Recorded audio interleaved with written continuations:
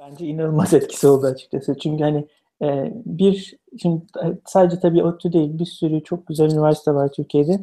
E, ama herhalde ODTÜ'nün ve hani birçok diğer üniversite işte İTÜ olsun, Boğaziçi olsun hani etkilerinden biri bir kere e, İngilizce eğitim olması çok önemliydi. İki, hani insanın böyle özgüveni hani vermesi de çok önemli. Bakıyorsunuz sizin önceki bölümleriniz işte yurt dışına gitmiş, e, şuraya gitmiş, buraya gitmiş, hocalarınız gitmiş, gelmiş. Hani bayağı bir özgüven veriyor bu size. Hani şey diyorsunuz, piyasa değerim gayet fena değil, hiç de fena değil.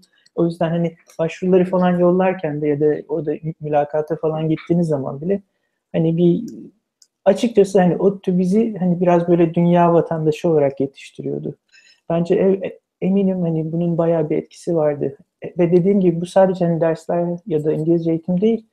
Genel olarak hani üniversitede atıyorum ilgi alanlarınız olsun, hobileriniz olsun. Bunlar hep böyle üst üste gelip hani sizin olgunlaşmanızı sağlayan şeyler. Ve dediğim gibi hani ODTÜ elbette güzel bir üniversite ama hani Türkiye'de bunu sağlayan el, bayağı bir bayağı güzel üniversiteler var. Yani ODTÜ, Bilkan, İTÜ, e, Ege Üniversitesi olsun hani bir sürü şimdi adını e, saymadığım üniversiteler var.